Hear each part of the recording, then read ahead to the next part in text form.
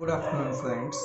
My name is Bhupinder Singh and I am an art teacher at Lotus Petal Foundation. Today we learn that how to make origami bird. For that you can take any old paper or if you have origami sheets so you can take origami sheets. First of all we need one square paper so we have to convert this rectangle page into a square piece. So you have to fold this line over this line like this into a triangle position. Then you have to cut this extra piece of paper. You can use scissor or you can just fold it like this make a crease and cut it like this. When you're done just open this paper or fold it from this point to this point like this.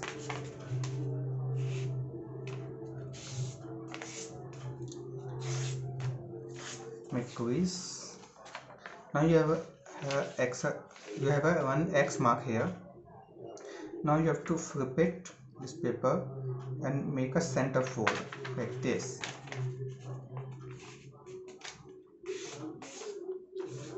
repeat this step again. After folding both sides you have one plus mark over here.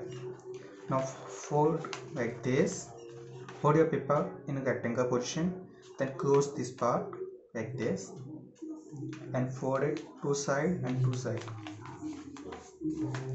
After folding this you have one side on top it's a closed side and one side is open side. So make sure open side should be down and fold like this. This line towards this center line. To the same from the other side also. And repeat this step from the back side also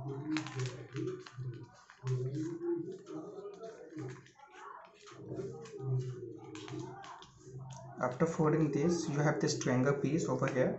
You have to fold it downwards and open it. Now you have one crease here.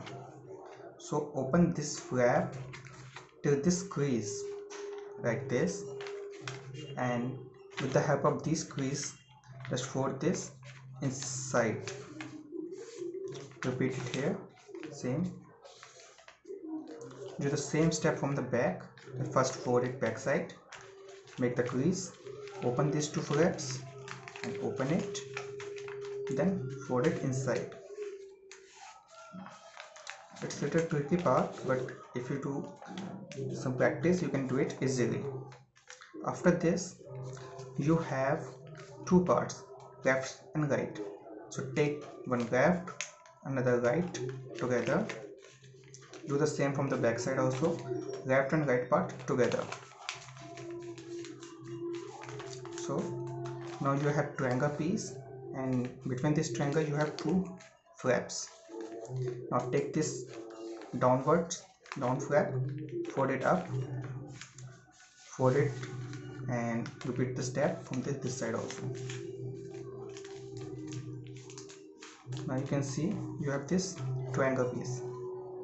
You can see there is inside this you have this triangle piece just take it out like this. Do the same step from this side also. Both side done. Now either one side you have to fold it like this downwards. It becomes the beak of this bird. And you have these two wings. Just fold it forward like this both side. The bird is almost ready now if you want you can hold like this from the neck and hold the tail.